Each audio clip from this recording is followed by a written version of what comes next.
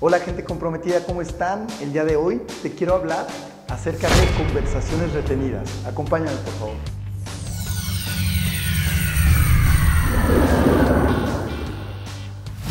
¿A qué nos referimos cuando decimos retener conversaciones? Nos referimos a que constantemente tenemos miedo de expresarnos y decir lo que pensamos, por temor a que nos rechacen o a que se enojen con nosotros o a cualquier otra situación negativa. En algunas ocasiones decimos ciertas cosas, pero retenemos otras. No terminamos de expresar nuestros pensamientos o deseos. Esto a la larga lo que nos va a generar es frustración porque nos va a hacer sentirnos incomprendidos.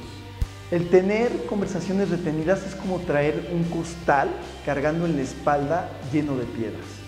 Y cada conversación retenida que tú tienes en la cabeza es como ir aventando una piedra adentro y esto lo va haciendo mucho más pesado.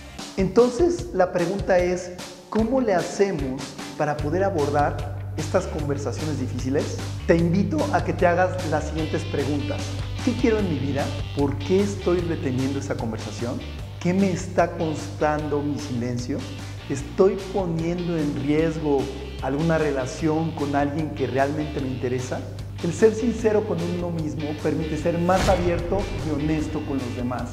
Algo que me funciona a mí es recurrir a alguna persona que me ayude, alguien que sea un coach, alguien que sea un psicólogo, alguien que conozca de este tipo de temas, que me ayude a salir de mi zona de confort y que realmente me ayude a cuestionarme cómo poder sacar esa conversación retenida. Algo que también hago comúnmente es que cuando sé que voy a tener una conversación difícil, practico esa conversación con alguien.